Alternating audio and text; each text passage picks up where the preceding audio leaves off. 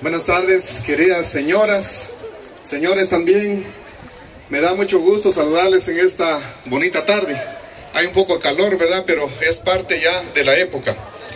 Primero quiero agradecerle a Dios, segundo a la directiva, por la iniciativa, por esa intención que ustedes, felicitaciones señores, y a ustedes también, queridos señores, que prácticamente ya lo decían acá, se mantienen casi que todos los días vendiendo.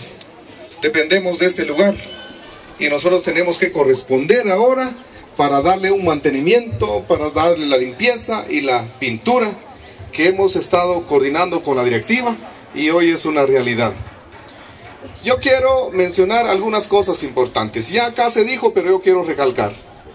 Hoy que le vamos a dar mantenimiento a este mercado, ojalá que tarde por mucho tiempo. Ustedes saben que un quetzal, 100 quetzales cuesta conseguirlos.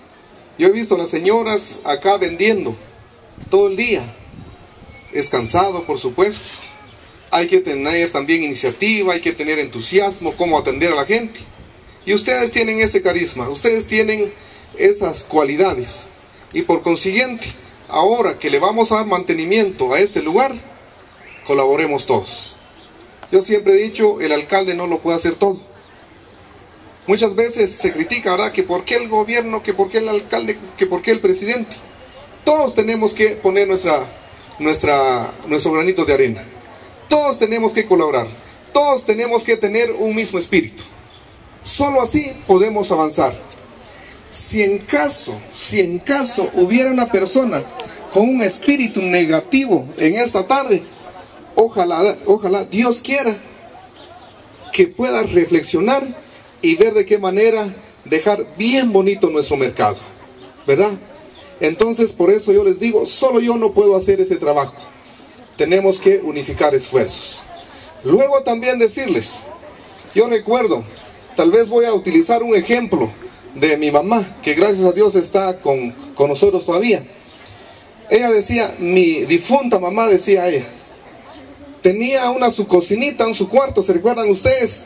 Con, con caña, caña de milpa, con su techo de paja, ¿verdad? Que ustedes conocen perfectamente. Pero decía mi mamá, todos los días ella barría no solo lo, que es el piso, digamos, el, en sí el, patio o, la tierra dentro de la cocina, sino barría también, a pesar de que era de paja, siempre barría. También la pared no era de, de, block, sino que era de, caña. Y ella dice que se mantenía todo el tiempo limpiando. Y un lugar higiénico vale la pena, señores. Así las personas que vienen a comprar se llevan una buena impresión. Alguien más me dijo en una ocasión, lamento mucho, me dijo, se los voy a compartir. Me dijo un amigo, una casa de afuera se miraba tan bonita, era de terraza, pero cuando entré había un desorden totalmente. Yo me decepcioné, dijo él, Malaya, fuera mía esa casa. Yo la pondría bien bonita, decía, ¿verdad que la higiene tiene mucha importancia?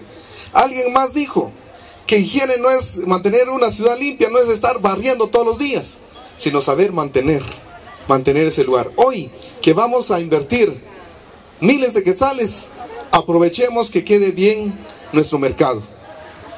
Ya coordiné con los del mercado, les vamos a dar la pintura, ustedes colaboren en poner la mano de obra y vayan quitando las cosas, miren ustedes, que no nos favorecen nada, a veces hay pita, hay alambre, hay otras cosas que no nos ayuden nada.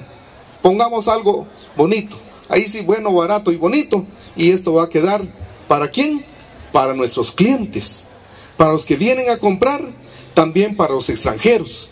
Cuando vengan mañana, pasado mañana, ah, qué bonito el mercado Patzún. Las vendedoras, los vendedores están bien coordinados. ¿Y eso qué? Nos da una gran satisfacción. Yo puedo decir, nos puede dar una gran, tal vez hasta puedo, orgullo, ¿verdad? Porque estamos en un lugar higiénico. Aquí estoy con ustedes, señores hagamos bien el trabajo.